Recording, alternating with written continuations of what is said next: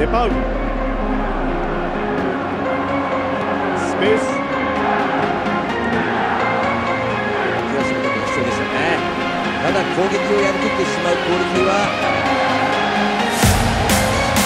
さあファーストハーフ見ていきましょう。シットへさあスリーだ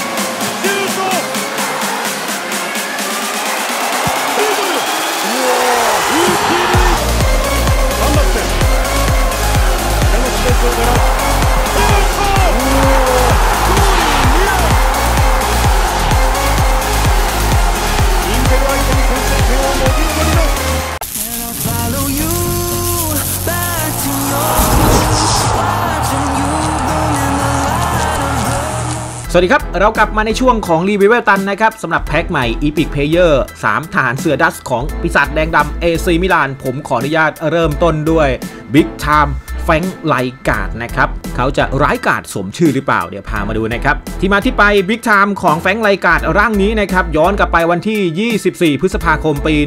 1990 ฟุตบอลยูโรเปียนแชมเปี้ยนคัพครับนะครับ รอบชิงชนะเลิศระหว่างเบนฟิก้าของโปรตุเกสนะครับ พบกับ AC มิลานแห่งอัสซูรี แน่นอนครับ ทีมที่ชนะก็ต้องเป็นทีมพระเอกของคลิปนี้ใช่ไหมเอซีมิลานชนะเบนฟิก้าไปได้ 1 ประตูต่อศูนย์นะครับ จากประตูชัยประตูเดียวของแฟงไลกาดพระเอกของเราในคลิปนี้นั่นเองนะครับแมตช์นี้เนี่ยสามทหารเสือดัตช์ลงพร้อมหน้าพร้อมตากันเลยนะครับผมมิลานเนี่ยใช้หน้าคู่รุดกุลลิตนะครับยืนคู่กับมาร์โกฟานบาสเทนนะครับแล้วประตูที่ได้เนี่ยก็เป็นจังหวะที่มาร์โกฟานบาสเทนนะครับจ่าย assist ให้กับแฟงไลกาดยิงเข้าประตูไปนาทีที่ 68นะครับมีแค่ประตูเดียวเกิดขึ้นในแมตช์นี้นะครับประตูนี้ทำให้ AC มิลานการคว้าแชมป์สโมสรยุโรปนะครับเป็นสมัยที่ 4 จริง ๆ ตอนนั้นยังเป็นชื่อเดิมอยู่นะครับก็คือยูโรเปียนแชมเปี้ยนคัพครับนะครับผมซึ่งต่อมาภายหลังก็เปลี่ยนเป็นยูฟาแชมเปี้ยนลีกนั่นเองนะครับรูปภาพโปรไฟล์ของแฟรงค์ไรจ์การ์ดร่างนี้ก็มาจากจังหวะที่มาร์โกฟานบาสเทนนะครับผมแทงทะลุช่องให้กับแฟรงค์ไรจ์การ์ดเอาชนะกับดักล้ำหน้าได้ แล้วก็ยิงแบบหัวเกือกนิดนึงนะครับกึ่งๆ ปั่นก้อยเข้าประตูไปอย่างสุดสวยนะครับ แต่ผมคิดว่าเกมหน้าจะมองเป็นจังหวะการจิ้มยิงด้วยปลายเท้าเข้าประตูไปนะฮะไม่ใช่การยิงปั่นก้อยนะครับ เพราะว่าร่างนี้ของแฟงไลการ์ดไม่มี skill outside curler นะครับ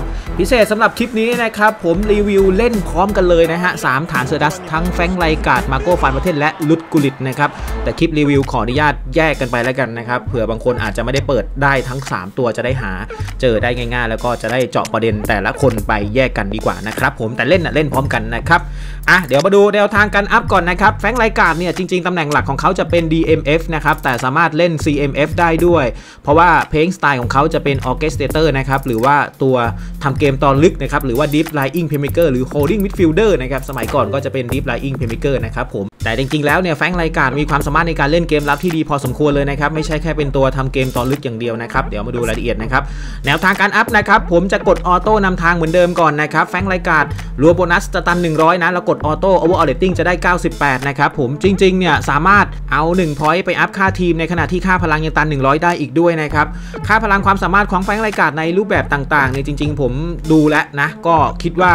ลงตัวแล้วล่ะ แล้วเอา 1 point ไปอัพค่าทีมได้อีกด้วยนะครับ แต่ข้อควรระวังนะครับ บางคนอาจจะไปลด Aerial Strength นะครับ คุณสังเกตดูนะจาก 4 ถ้าเกิดคุณลดเหลือ 3 แล้วเอา 1 point นี้ไปอัพค่าทีม Physical Contact จะลดจาก 80 สีเขียวเป็น 79 สีส้มนะครับจะลดพลังความแข็งแกร่งอีกสเกลหนึ่งเลยนะครับเพราะฉะนั้นถ้าาเกิดคุณจะอัพค่าทีมจริง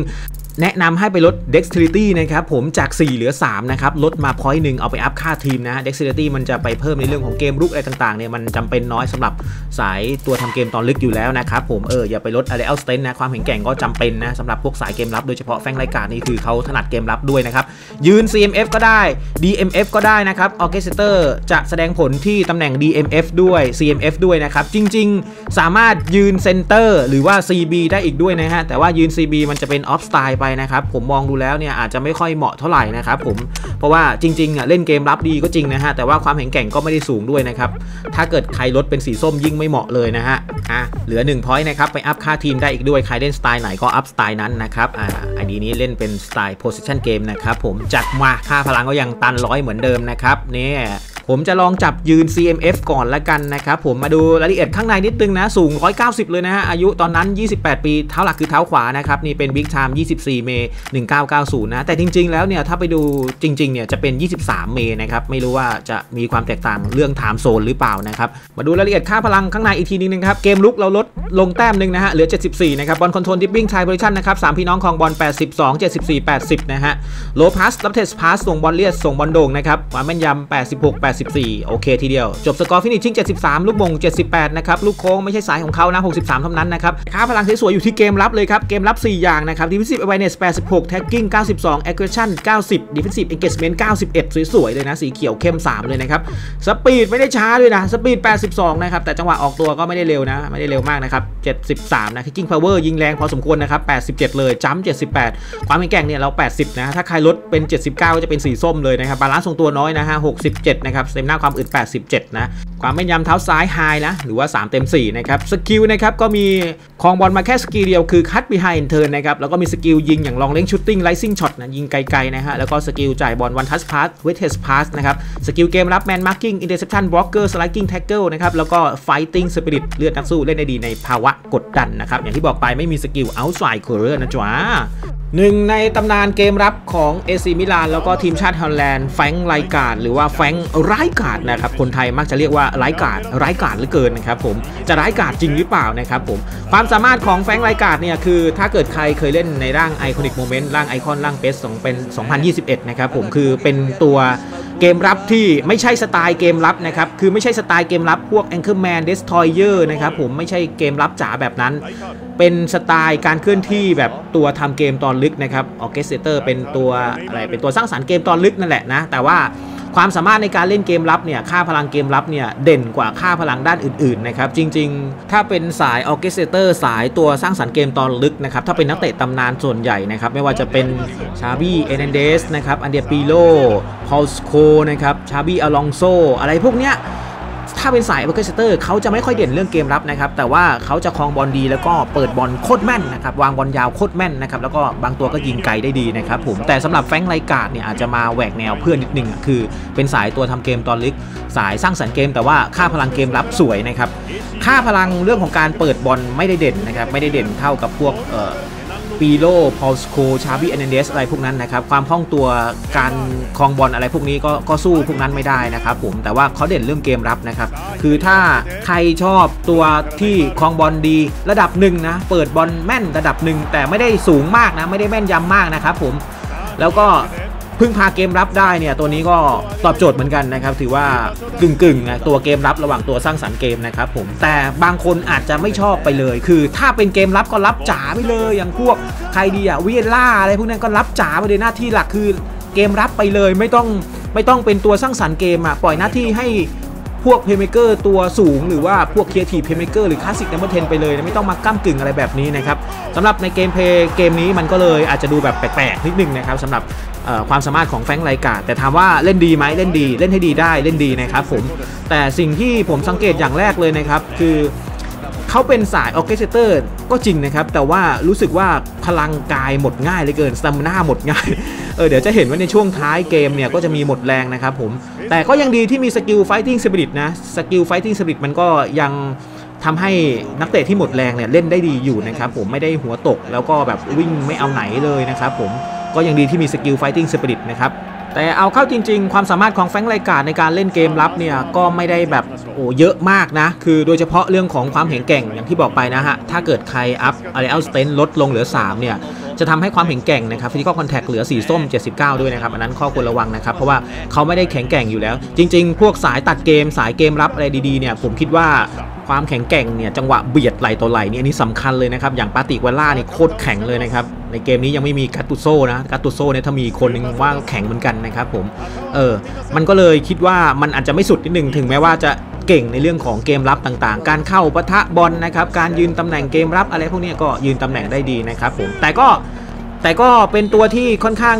ไปออกแนวแบบเติมเกมลุกได้ดีด้วยนะครับ คือถึงแม้ว่าจะไม่ได้รับจ๋านะครับตูมเข้าไปยิงหลังเท้า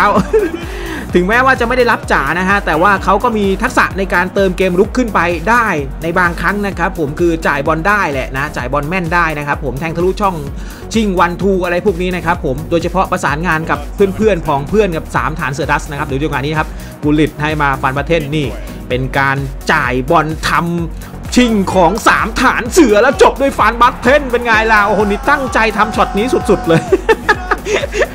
กว่าจะส่งกันได้ 3 คนครบ 3 คนแล้วทำประตูได้นี่หืมนี่ดักได้ครับผมเออพึ่งพาเกมรับได้นะฮะแต่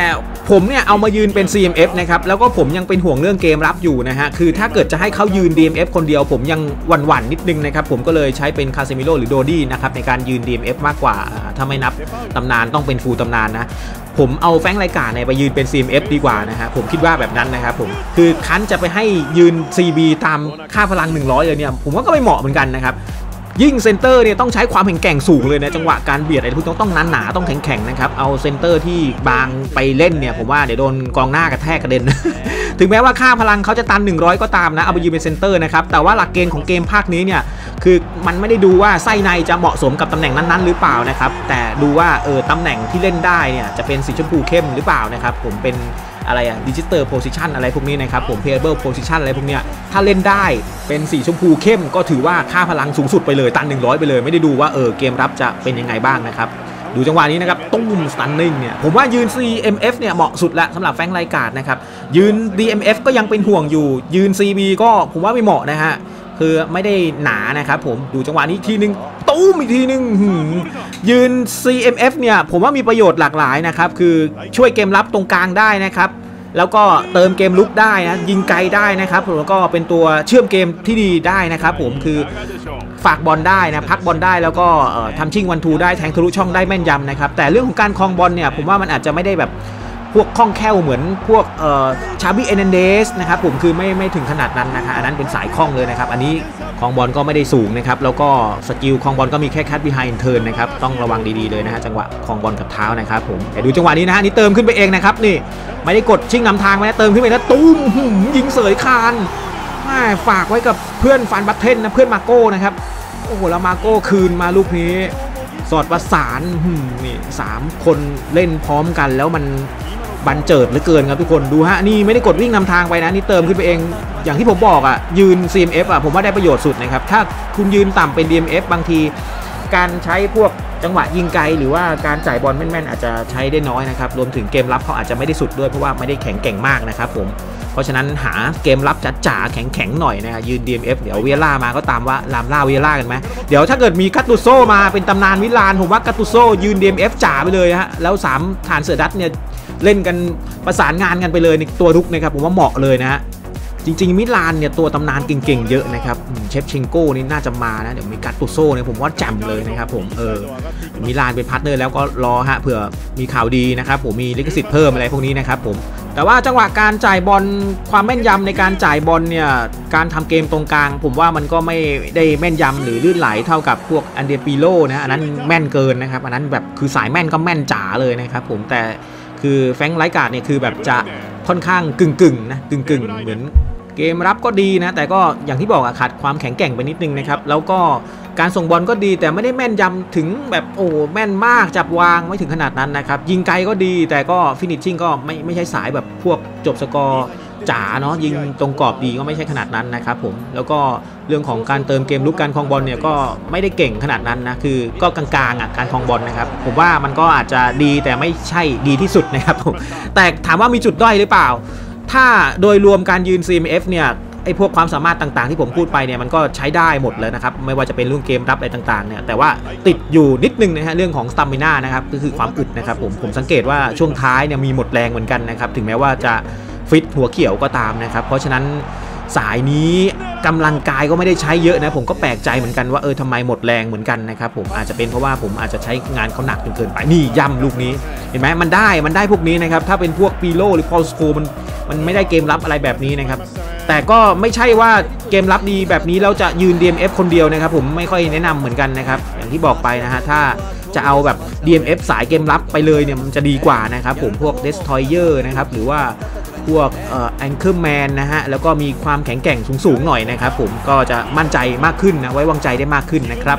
ในเกมภาคที่แล้วเนี่ย เวอร์ชัน iconic moment เวลาเราใส่ชุดมิลานแบบนี้นะครับ พวกแฟรงค์ ไรจ์การ์ด ฟานบาสเท่น รุด กุลลิตอะไรพวกเนี้ยก็จะ boost ค่าพลังเพิ่มขึ้นไปอีกนะครับ ตัวไอคอนน่ะเออตัวก๊าซสีชมพูครับแต่ในเกมภาคนี้มันยังไม่มีนะครับผมอยากจะให้รูปแบบนั้นมันกลับมาเหลือเกินนะครับโดยเฉพาะถ้า เอานักเตะที่เป็นกลุ่มก้อนเดียวกัน เป็นเกอร์เดียวกัน เป็นแก๊งเดียวกันอย่าง 3 ฐานเสือดัสแบบนี้นะครับ ถ้ายืนเล่นพร้อมกันในสนาม 11 ตัวจริงนะครับ เพิ่มบัฟไปอีกเลยเหมือนกับเกมฟีฟ่านะผมว่า โอ้โห มันจะเป็นอะไรที่เวลาเราทำฟูลทีมมันจะได้อัตรดมากขึ้นนะเออลงเล่นพร้อมกันแบบนี้ บัฟค่าพลังสามินาเพิ่มขึ้น บัฟค่าพลังความแข็งแกร่งเพิ่มขึ้นนะครับ อะไรแบบเนี้ยผมว่าเกมนี้น่าจะมีแบบนั้นนะครับ มันจะทำให้เราสะสมนักเตะ แล้วก็หน้าเล่นนักเตะได้หลากหลายมากขึ้นนะครับ คือถ้าไม่มีแบบนั้นเนี่ยทุกวันนี้ก็จะเล่นแบบว่าเออใครก็ได้ใช่ป่ะลงสนามปนๆกันมาเลยไม่ต้องดูว่าเออเป็นทีมเดียวกันหรือเปล่าเป็นฟูลทีมหรือเปล่านะครับส่วนใหญ่ที่เราเล่นฟูลทีมกันก็อัธรสไงด้วยด้วยความอัธรสของเราเองนะครับผมมันไม่ได้มีโบนัสจากทีมนะครับเออแต่ทุกครั้งที่เวลาเราเล่นแบบนี้แล้วลงพร้อมกันแบบนี้นะฮะ โดยเฉพาะพวกแก๊งเดียวกันเนี่ยสามฐานเสือดัสนะครับผมลงเล่นพร้อมกันแบบนี้แล้วเวลาเวลาส่งบอลต่อบอลให้กันเนี่ยรู้สึกมันคลาสสิกเหลือเกินนะครับโดยเฉพาะถ้าเกิดว่าจ่ายบอลให้กันได้และ assist ให้กันได้แล้วนักเตะ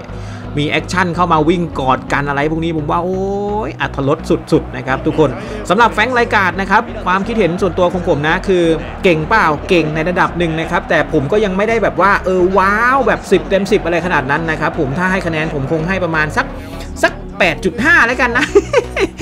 ให้สัก 8.5 แล้วกันนะครับ มันอาจจะไม่ใช่สไตล์ผมที่แบบว่า ผมอยากจะให้รับก็รับจ๋าไปเลยนะครับ หรือว่า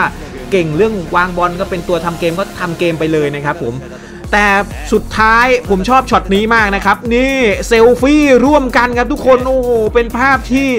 น้ำตาจะไหลเหลือเกินนะ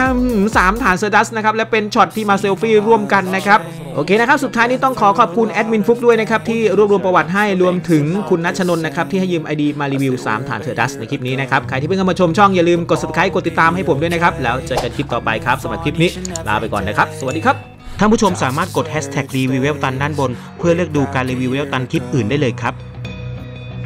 I've changed for the better this time. I thought I would never be fine. I strive just to say I'm alright. さあこの And セ for カン the ドボール first time in a long time, I'm alright. 마이크 미도르 Things are not the same as they were a year ago.